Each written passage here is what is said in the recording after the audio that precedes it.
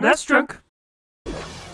I remember seeing Batman Forever in theaters when I was a kid, and it was a good time. The Batman movies back then had kind of a sillier vibe to them back when Joel Schumacher was the director, and they were much different than the Christopher Nolan Batman films that came later. They weren't as ridiculous as, say, the 1960s Batman TV show, but they were decidedly, eh, I'll say less serious than what we're used to now. Sadly, Batman Forever's accompanying video games for Super Nintendo and Sega Genesis did not match the vibe of the movie at all. Instead, they were a dark, dreary, unintuitive mess of a game that's easily one of the 10 worst games on the Super Nintendo in particular. What I did not know until recently is that there was a completely different Batman Forever game simply titled Batman Forever the arcade game made by Probe Entertainment and Iguana Entertainment, the latter being best known for the mega popular NBA Jam series. It's yet another arcade game I had never seen before, and yeah, as you can clearly see, this game is what the Super Nintendo and Sega Genesis games should have been from the get-go. Just a simple beat 'em up. Kinda like what Batman Returns was, just set in the Batman Forever universe universe, so to speak.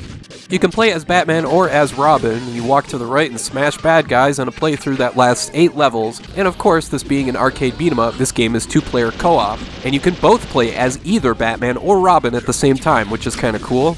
This game features typical beat 'em up controls punch, kick, jump, land consecutive hits to do a combo. And yeah, I get it, some folks may think that's a bit boring, but Batman Returns Arcade does put its own unique spin on things. I like the interactive backgrounds, like being able to smash enemies into windows, or having wrecking balls drop down from nowhere to smash you or an enemy. Then that same wrecking ball can also smash stuff in the background that falls on you. There's also hilariously goofy power ups here, the same you'd find in most other beat 'em ups of the time, but I guess it's just kind of funny to me seeing seeing them used on photo digitized characters like this.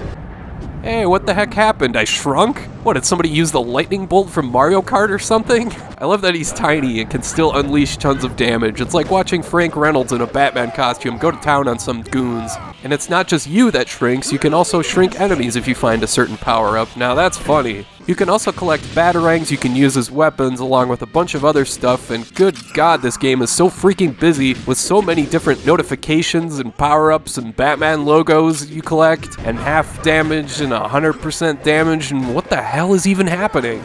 I mean, it's fine if a game wants to be this fast and this crazy, but what makes it kind of a bummer for me is the constant camera shaking. It makes me feel like my eyeballs are gonna come loose from my skull and just fall out. It just really gets old. Still, I do appreciate the ridiculousness this game brings to the table, like throwing this guy into the background and, uh, did he just explode? What the hell was that? In the fourth level, you can send dudes flying out the window. Whee! I also love how some of the enemies talk. I can't speak to how closely this game follows Batman lore. Occasionally, you do hear what sounds like Tommy Lee Jones as Two-Face. I know a little bit about Batman, but not that much, and when I got to the third level boss here named Tassel, I googled Batman Tassel to see if this was someone from the comics or the movies, and all I could find were actual Batman tassels. Oh well. What's interesting here is that for each token, you get not one life, but three lives, and that's because this game is absolutely positively brutally difficult. Classic arcade cheesing for quarters. I mean, you can lose a life in a blink of an eye, it's a little ridiculous. If you're gonna play this one, you're gonna have a way better time with the second player, just because you have a much better chance of seeing more of the game that way. Plus, with two players, you can do some pretty cool combo attacks that are a lot of fun.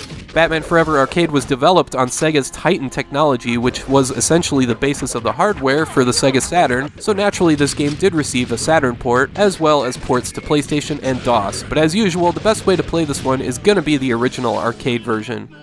So yeah, ultimately, Batman Forever Arcade is pretty good, but not nearly as good as some of the other arcade beat 'em ups I've touched on over the past few months. To put it simply, this one's just not as fun. It definitely has fun moments, but this game's difficulty is absurd. It's such a grind to play this with just one player, and there's so much going on with tons of crap to collect, and I don't even know what the hell is going on or what does what, and the constant camera shaking definitely does not help.